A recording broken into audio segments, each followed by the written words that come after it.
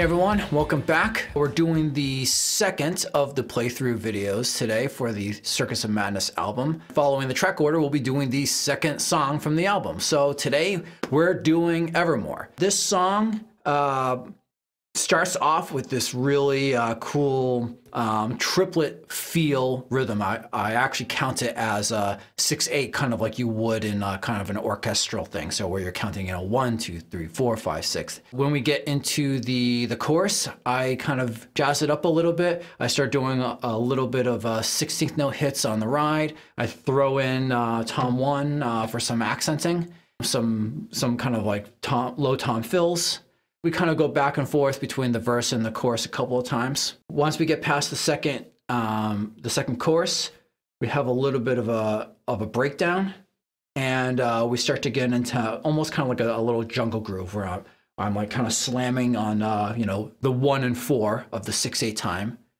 After a little bit of that, I jump into uh, a regular drum beat once we go to progress again, I kind of bring everything together back together. So now I uh, I'm starting to do part of the feel from the the jungle groove while I'm doing the uh, the main drum beat.